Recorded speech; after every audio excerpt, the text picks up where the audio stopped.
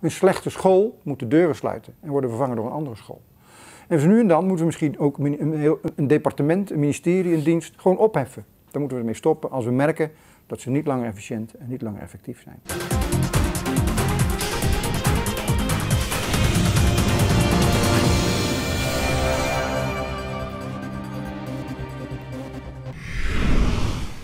Dat boek is geschreven om te proberen een antwoord te geven op een klassieke vraag in de economische wetenschappen, waarop het antwoord vinden wij nog altijd onbevredigend is. En dat is waarom in de overheidssector, in de semi-publieke sector, organisaties in het algemeen zoveel minder efficiënt en zoveel minder effectief zijn dan in de private sector. Het klassieke antwoord is winstmaximalisatie. En dat antwoord vinden wij niet bevredigend, omdat we aan de ene kant zien dat in de private sector allerlei bedrijven die winsten maximaliseren het heel slecht doen, inefficiënt zijn en niet effectief.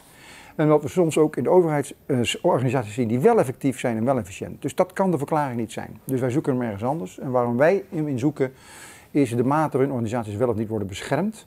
En met bescherming bedoelen we dat ze worden, ze wordt toegestaan om te overleven. Uh, vaak door de overheid, om niet te zeggen altijd door de overheid. Ondanks het feit dat ze het niet goed doen. Omdat ze, ondanks het feit dat ze inefficiënt zijn of ineffectief. Een klassiek voorbeeld is de auto-industrie in de Verenigde Staten. Die had al lang failliet moeten zijn.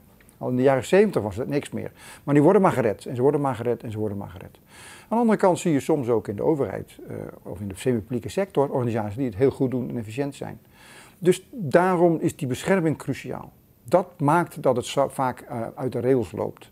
In de, veel sectoren worden niet goed functionerende organisaties in leven gehouden. Uh, dat wordt in de literatuur het soft budget constraint genoemd. Dat wil zeggen dat ze weten dat, ach, als het niet goed gaat, als we niet meer genoeg verdienen, we krijgen wel wat toegestopt. We worden wel in leven gehouden. Nou, zoals gezegd, in de banksector, in de automobielindustrie zie je daar heel veel voorbeelden van.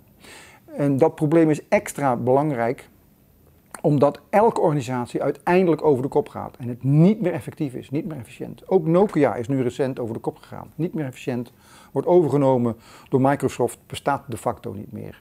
En dat komt omdat elke organisatie zich op den duur niet meer weet aan te passen aan de omgeving. Ergens een keer wordt, um, wordt, wordt weggevaagd door een concurrent. Uh, makkelijkst om dat te illustreren is aan de hand van het spelletje op de kleuterschool, waarbij je uh, ziet dat de ene kleuter een verhaaltje fluistert in dat en de kleuter ernaast en die weer in die daarnaast. En aan het eind van de rit komt er een totaal ander verhaal uit dan aan het begin. Zo gaat het in organisaties ook. Die organisaties hebben meerdere lagen. De baas zegt wat tegen de onderbaas, die wat zegt tegen de onderonderbaas enzovoort. Dus voortdurend in organisaties gaat, gaat informatie heen en weer. En voortdurend wordt die informatie een heel klein beetje verstoord. En het hoeft maar een heel klein beetje te zijn. En je kunt aantonen dat het betekent dat uiteindelijk die organisatie uit elkaar valt. Niet meer doet wat het zou moeten doen. Dat aan de top niet meer weten wat ze aan, op de werkvloer aan het doen zijn, et cetera. Nou, lees het boek over de prooi, over ABN AMRO en je ziet het voor je gebeuren. Ze weten het niet meer.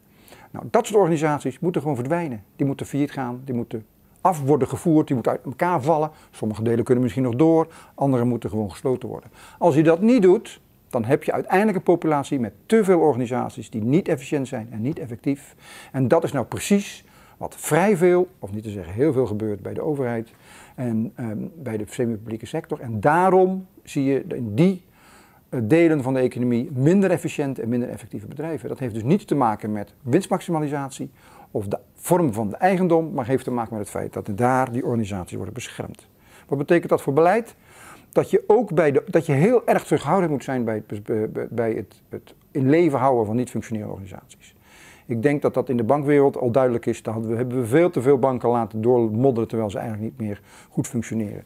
Als het argument is, ja maar dat kon niet, want ze waren te groot om, te, om uh, te gaan, dan hadden we ze kleiner moeten maken. Dan hadden we moeten voorkomen dat ze zo groot hadden kunnen worden. Dat hebben we niet gedaan. Dus dat betekent, hou organisaties klein genoeg, altijd, overal, om je te kunnen veroorloven om ze failliet te laten gaan. Dat is één ding.